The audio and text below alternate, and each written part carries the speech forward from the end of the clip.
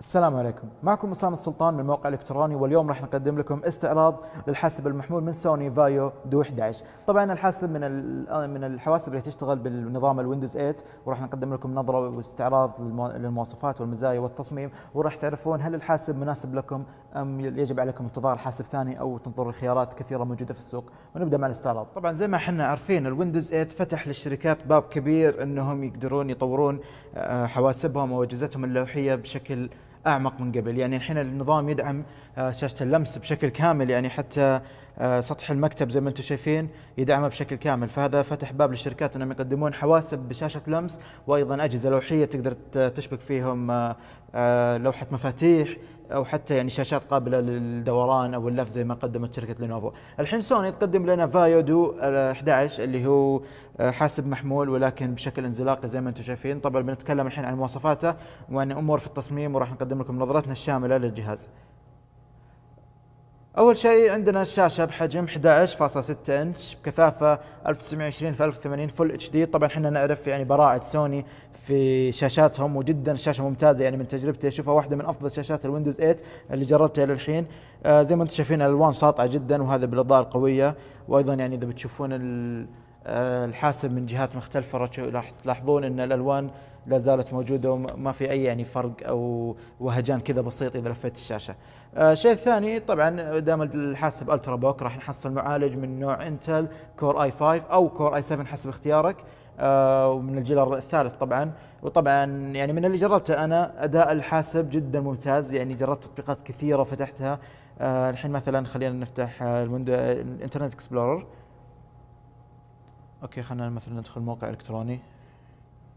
okay الحين الموقع شغال. مثلا نغير البرنامج وندخل على ال store أو المتجر. وهذا البرنامج مثلا ندخل على سكايب كاننا بنحمله ونطلع منه نقدر ندخل الكاميرا. هذا هو التصوير. طبعا الكاميرا في الأسفل يعني وراح أتكلم عنها بعد شوي. آه يعني زي ما أنتم شايفين يعني الدخول والطلوع والخروج من البرامج جدا سريع وسلس هذا الانتقال بينهم. آه الشيء الثاني بنتكلم عنه اللي هو بطارية الجهاز. بطارية الجهاز آه نوعا ما كانت آه سيئة وكان من الممكن أن تتحسن.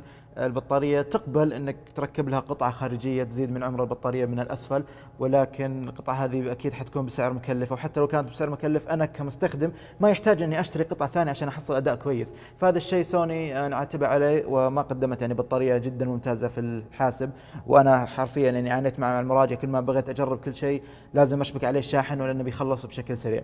آه الشيء الثاني عندنا كاميرا أمامية وضوح 1.2 ميجا بكسل وخلفية بوضوح 2.4 طبعا الأمامية يعني إحنا عارفين إن الكاميرات الأمامية في التابلت شيء مشي حالك بس عشان آه، المكالمات الفيديو. إحنا بنشغل الكاميرا الأمامية زي ما أنتم شايفين. آه، الكاميرا ما كانت بذاك السوء لكنها برضه كانت المفروض تكون أحسن. والكاميرا الخلفية يعني شيء غريب جدا يعني. أنا راح أقلب آه، الجهاز الحين وراح أقول لكم وين مكان الكاميرا. غالبا بتكون في النص أو في الاعلى يعني الأعلى هنا عندنا اللي هي فتحة المروحة أو التهوية. فالكاميرا مو هناك الكاميرا هذه يعني مكانها جدا غريب. مثلا لو أنا أستخدم الحاسب آه، وهو على ذا الشكل ما أقدر إني أستخدم الكاميرا ولازم أرفع الحاسب. هذه الوضعية عشان أقدر أصور. طبعا كرت الشاشة هو من نوع انتل HD Graphics 4000 وهو الجيل الجديد من الكروت الشاشة الحواسب ال Ultrabook واداءه يعني ممتاز نوعا ما. ما أشوف أي تقطيع حتى لو شغلنا فيديو عالي الوضوح وخلينا نستعرض لكم. okay هذا مقطع full HD زي ما أنتم شايفين الشاشة يعني تقدم أداء ممتاز وما يقطع وما في أي شيء يعني يبين لك إن كرت الرسوميات يحتاج لتغيير أو إنه لازم يكون بأداء أفضل من كذا. آه الشاشة آه تقدم أيضا ألوان زي ما قلت لكم جدا ممتازة و full HD فكرت الرسوميات أو أي شيء يتعلق في اللابتوب من أو الحاسب من ناحية الشاشة شيء ممتاز وأداء رائع. طيب آه هذه أهم المواصفات التقنية اللي يمكن تهم الناس يعني برضه خلينا نجرب لكم السماعة. سمعت الجهاز جدا جدا ممتازة شيء يعني تشكر عليه سوني. طبعا السماعات مكانها هنا في الأسفل واحدة في الأيمن والثانيه بالجانب الأيسر. طبعا واحدة من الأمور المهمة لازم نتكلم عنها عن الحاسب اللي هي التصميم. التصميم آه، نوعا ما كان من الممكن يكون أفضل من كذا. أنا عارف إن أجهزة سوني بالذات فايو دائما تجينا بتصميم راقي ورائع يعني يبين لك فخامة المنتج. لكن مع هذا الحاسب ما أشوف هذا الشيء. تحسه شيء غير مكتمل ومجرد تصميم مبدئي. يعني أوكي هذا هو الحاسب. إذا تبغى تستخدمه كجهاز لوحي. سماكته تقريبا 19.4 ملم ويعني أنا ما أقدر أستخدم لوحي بهذه السماكة صراحة وأيضا الوزن 1.3 كيلو جرام يعني إذا حتستخدم يد واحد وتبدأ تتنقل بين التطبيقات ما حتمر خمس دقائق إلا وأنت يعني تعبان لآخر درجة وزي ما ذكرت يعني في المراجعه النصيه إذا كنت تشبه مصارعين ال WWE هذا شيء ممتاز يعني. آه okay أنا فتحت الجهاز الآن من الكرتون وأبغى أجربه أو أي مستخدم يبغى يجربه. كيف راح يفتح لوحة المفاتيح؟ يعني ما في أي شيء آه أو أي منطقة يعني مرسوم عليها شيء يبين لك من هنا يمديك تفتح. مثلا من الأسفل باقي الأجهزة دائما تفتحها من هنا أو اللابتوب. فإذا تبي ترفع من هنا ما راح يفتح معك ما يمديك ترفعه أو شيء. ف الطريقة الوحيدة هي من الأعلى هنا. راح تحصلون هذه المنطقة اللي تسحبها بهذه الطريقة. طبعا طريقة الفتح يعني جدا متعبة. لازم تمس تثبت الجهاز بيدين وتبدأ تشيله أو ترفع الشاشة عشان تبين لك لوحة المفاتيح. وأمر متعب. يعني أنا عارف إن سوني كان من الممكن تقدم شيء أفضل من كذا. يعني خبرتها بتصميم الأجهزة شيء كبير. فالفايو دو 11 ما كان ما قدم يعني آه، إمكانية فتح سلسة. صح إنه إذا فتحته وإذا سكرته راح تقدم لك أداء سلس. بس المشكلة هي أثناء الفتح اللي لازم مثلا تثبت يدك على منطقة وتبدأ ترفع. عشان يفتح معك الشاشة. طبعا آه، من الخلف هذه هذا هو الحاسب.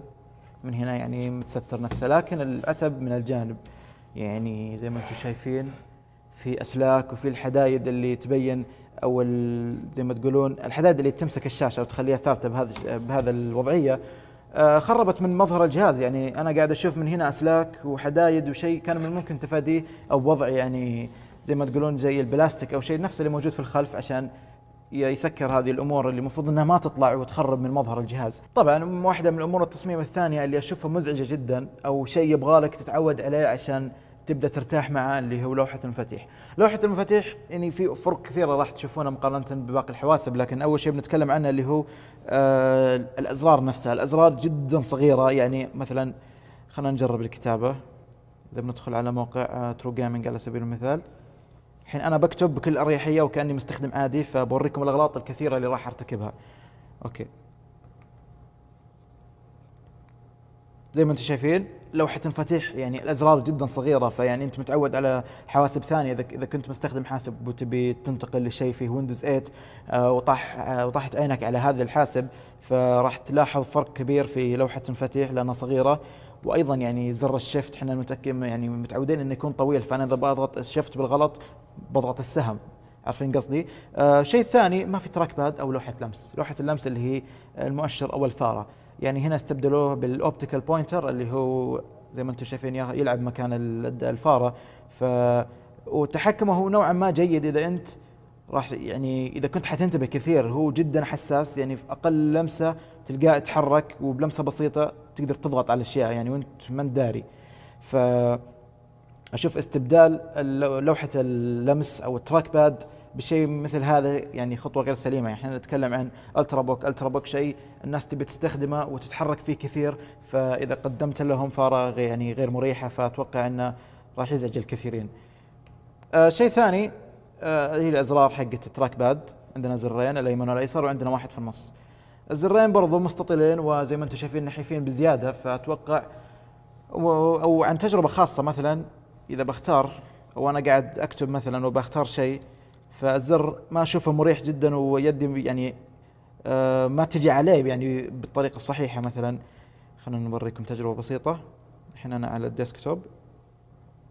وهذا متصفح. يعني مثلا إذا كنت أكتب شيء هنا ودي أسوي أضغط هذا الزر يعني. فشفت كيف؟ الضغطة ما تجي سليمة دائما يعني أو ما تقدر تضبطها صح. آه وعندنا الزر اللي في النص اللي هو راح يساعدك في في تحريك المؤشر من الصفحة من الأعلى إلى الأسفل. بس خلينا الصفحة تلود الحين.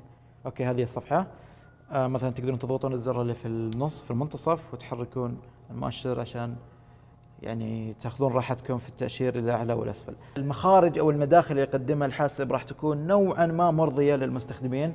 آه من الجانب الأيمن okay خلونا بس نسكر الشاشة عشان ناخذ راحتنا. من الجانب الأيمن راح نحصل زر التشغيل وأيضا HDMI مخرج HDMI ومخرج USB 3.0 ومن الجانب الأيسر راح نحصل آه، مخرج الفيديو من نوع VGA وأيضا SD card وفتحة السماعة. طبعا إذا أنت حتستخدم هذا الجهاز كلوحي أول شيء يجي على بالك وين أزرار التحكم بالصوت أو قفل الشاشة؟ قفل الشاشة okay حتلقاه في الجانب الأيمن. okay إحنا شكلنا قفلناه وأنا ما أدري. ف... غريبة يعني أنا ما أدري هل أنا قفلت الجهاز بمجرد ضغط زر التشغيل؟ المفروض اني اقفل الشاشة. فعلا أنا الحين ضغطت زر التشغيل على أساس إني أبغى أقفل الشاشة وطفى الجهاز بكبره. وأنا ماني ماني عارف يعني وش فائده الزر إذا ما أقدر أقفل الشاشة. فعلى كل إذا زي ما كنا نقول إذا مثلا تبغى تستخدم ازرار تحكم الصوت راح تلقاه هنا في الأسفل. فإيش المكان الغريب هذا؟ أنا ماني فاهم يعني. إذا أنا قاعد أستخدم اللوحي كذا لازم أرفعه. دي طريقة. وأضغط زر رفع الصوت. وأظن عندنا عندنا زر ال assist وعندنا زر ال VAIO Care. واحدة من الإضافات اللي قدمتها سوني للحاسب المحمول اللي هو قلم ضوئي. okay هذا القلم الضوئي راح تحصلونه بالكرتون الجهاز أول ما تفتحونه ولكن في شيء غلط في القلم الضوئي. أنا راح أترككم تفكرون. إذا أنت الآن اشتريت جهاز أو حاسب محمول أو حتى هاتف محمول وكان فيه قلم ضوئي وين غالبا تحصل القلم الضوئي؟ مرفق في الجهاز طبعا. السوني سوني للأسف ما قدمت أي فتحة أو أي شيء يمديك تدخل فيها آه، القلم الضوئي عشان يعني الآن صار القلم لازم تحمل معك في كل مكان تروح فيه فهذا شيء جدا مزعج يعني. آه، ليش تقدم لي شيء وما تخليني أستفيد منه؟ بالطريقة الصحيحة يعني. okay القلم يعني يفيدني بالخروج أو الدخول من التطبيقات آه، أو استخدامه مثلا في تطبيقات الرسم أو النوت. هذا على سبيل المثال واحدة من الأشياء اللي أنا رسمتها. وإذا بنتكلم أنا الاستجابة حقت القلم جدا جدا ممتازة آه، وهذا التطبيق خاص بأجهزة فايو اللي راح يساعدكم في التصميم أو الرسم وأمور إدارة الأعمال ومثل جدولة الأشياء أو حاجات زي كذا. طبعا زي ما ذكرت هذا هو القلم يقدم استجابة ممتازة نوعا ما وراح تحصلون مجموعة ألوان هنا تمديكم تختارونها وتغيرون الخط وهنا في زرين الزر الأول يمديك آه، تحدد أمور زي كذا طبعا أنا ما أفهم كثير في أمور التصميم فلا ولكن أكيد اللي راح يستخدمون الجهاز راح يعرفون وش فائدتها. والزر الثاني في في التطبيق هذا راح تستخدمونه كزر آه، يمسح الأشياء اللي كتبتوها. سوري هذا هو الزر. نتحدد هذا الخط بشكل كامل. وراح يمسحها وبإمكانكم من الخيارات تمسحون الصفحة بشكل كامل. زي ما ذكرت في قطعة جانبية بامكانكم إرفاقها من الاسفل عشان تحصلون على أداء بطارية أعلى أو بطارية إضافية. في هذه القطعة راح تحصلون مدخل لهذا القلم آه، وهذا شيء غريب يعني إذا ما أنت قادر لي أو ما تقدر توفر مكان آه، أضع فيه القلم ليش أنا يعني كمستخدم أروح أدور قطعة خارجية تفيدني من هذه الناحية وهذا شيء آه، أو زي ما تقولون أمور تصميمية تخبطت فيها سوني كثير في هذا الجهاز. مرة ثانية راح أخذكم بجولة سريعة بالحاسب نشوف إذا فاتنا أي شيء. من الأمام زي ما قلت لكم عندنا كاميرا أمامية تشوفونها هذه. ومن ال... هنا إذا بتشوفون هذا هو استشعار اللي يقدم لك آه إضاءة أوتوماتيك أو تلقائية. الشاشة حسب الضوء اللي حواليك. وعندنا هنا زر ال Windows اللي راح يدخلك ويطلعك من التطبيقات مثلا أو لا راح يطلعك بالأدق. الحين أنا في تطبيق الصور مجرد ضغطة تطلع برا. آه، وطبعا الزر ما هو سلس وسريع يعني ضغطته يبغى له قوة نوعا ما. يمكن يفضلها احد غيري لكن من أنا شايفه شيء ممكن يكون مزعج مع الوقت. آه، يعني زي ما قلت لكم الحاسب وزنه 1.3 كيلو جرام والسمك حقه 17.8 وعندنا هنا من الخلف اللي هي آه أنا ما أدري إيش يسمونها صراحة ولكن زي ما أنتم عارفين هذه اللي راح تقدم لك ارتفاع بسيط للحاسب إذا فتحتها. وعندنا هنا آه المروحة وفتحات التهوية. ومن الأسفل الشاحن ومخرج الإيثرنت أو من الخلف.